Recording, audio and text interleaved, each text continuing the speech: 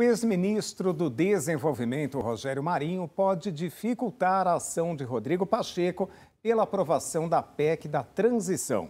Marinho é provável candidato à presidência do Senado.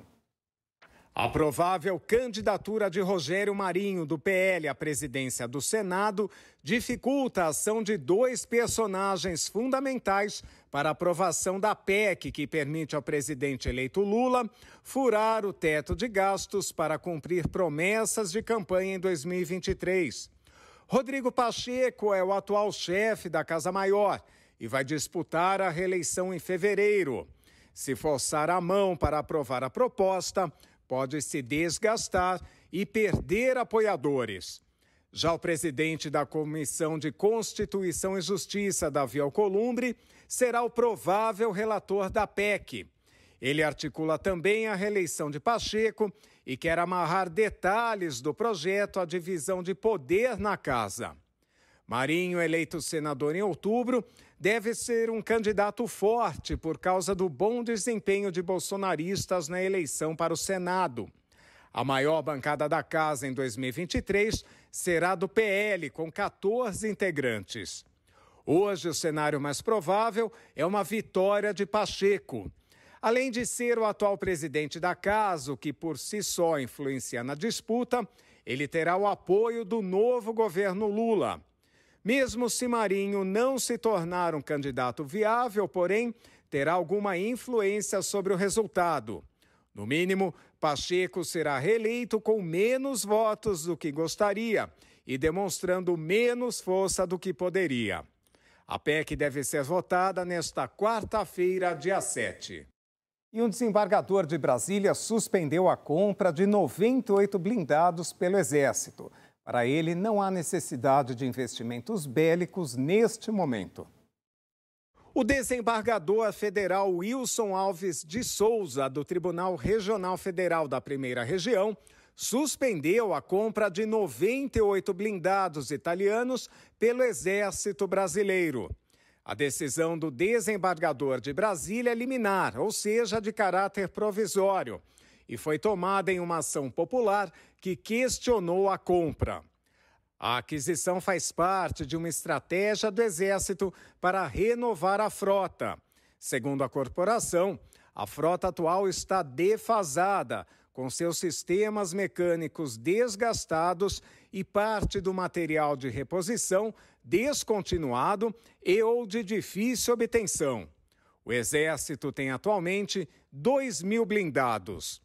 O valor da compra, segundo o Exército, será de 3,3 bilhões de reais. A ação, porém, diz que o gasto pode chegar a 5 bilhões de reais. Ao todo, o Exército pretende comprar 221 unidades do modelo Centauro 2. O contrato de 98 viaturas faz parte de uma primeira etapa da negociação. Para o magistrado, não há qualquer necessidade de equipamentos bélicos ao país neste momento. Vamos acompanhar agora os destaques de hoje no nosso giro de notícias. Assaltos assustam moradores do Rio de Janeiro e também em São Paulo. Agora, em Porto Alegre, a Delegacia de Homicídio investiga um caso de tortura em um supermercado. E a Copa, hein? Agora vem. Pelo menos é o que espera a família Six. Os assaltos continuam assustando os moradores do Rio de Janeiro. Criminosos em uma moto assaltaram os ocupantes de dois carros diferentes em pouco tempo, na rua Visconde de Tocantins, no Meier. Ao todo, quatro pessoas foram roubadas. Toda a ação durou menos de dois minutos e os criminosos fugiram. A Polícia Militar afirmou que não foi acionada para a ocorrência. Informou que em 2022 efetuou 831 prisões e apreendeu 111 adolescentes durante ações ostensivas feitas em sua área de policiamento e pede para que a população colabore realizando denúncias. Mais um assalto chocou moradores na zona sul de São Paulo. Uma quadrilha explodiu caixas eletrônicos em dois supermercados e depois usou dois ônibus, uma perua e quatro carros, alguns deles incendiados para bloquear duas ruas no Grajaú para dificultar a chegada da polícia e conseguir fugir. Vídeos gravados por testemunhas mostram cinco veículos em chamas.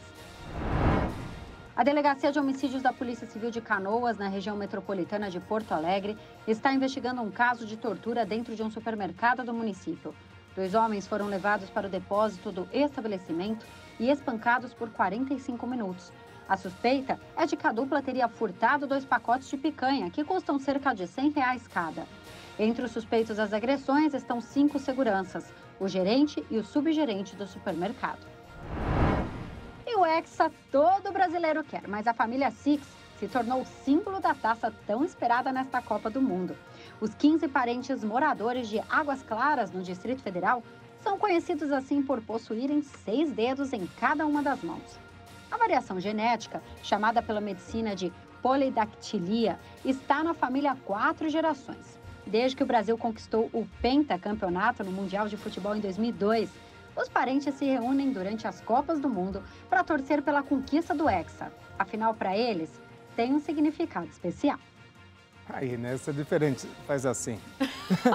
eu tenho cinco. Mas eu tô torcendo pelo Hexa junto com eles. Esse caso é bem curioso. Está todo mundo falando dessa família. Eu estava pesquisando, Camila. Tem mais gente no Brasil com essa modificação genética, mas que não atrapalha em nada né, os é, portadores. Mas é interessante, né? Pensar que eles, é, segundo a matéria, a gente põe só um pedacinho, mas ele já vem esperando o Hexa lá desde 2002, torcendo, e acho que agora até está tá sendo uma oportunidade para a família se divulgar, inclusive em comerciais. Comerciais aí, né? foram procurados aí, vão faturar em cima. Vamos continuando aqui. O Museu da Imagem do Som na cidade de São Paulo realiza a exposição que homenageia 81 personalidades negras que fizeram história. Veja na reportagem de Samuel Carvalho, do curso Oficina da Mídia, Repórter TV. No ano do bicentenário e no mês da consciência negra, o MIS, Museu da Imagem e do Som, apresenta a exposição Grandes Personalidades Negras. Nascida na favela da Moça Bonita, no Rio de Janeiro, Elza Soares inspirou gerações com sua voz e personalidade. Sou eu que te falo em nome daquela que na passarela é porta estandarte e lá na favela tem nome de flor. Machado de Assis foi um grande escritor e referência na literatura brasileira. Em época da Copa do Mundo, nomes do esporte como Rei Pelé e Garrincha também fazem parte da exposição.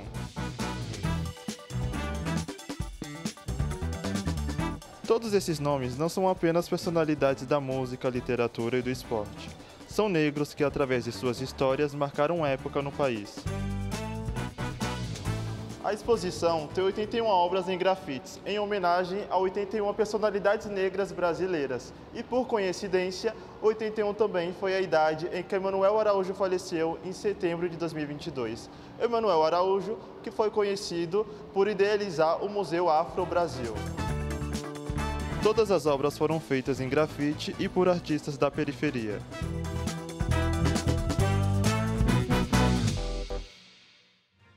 Logo depois do intervalo, você acompanha a Vaticano inaugura sua tradicional decoração natalina. E China flexibiliza a política de Covid-0 após uma série de protestos. É logo depois do intervalo, não saia daí, nós voltamos em instantes.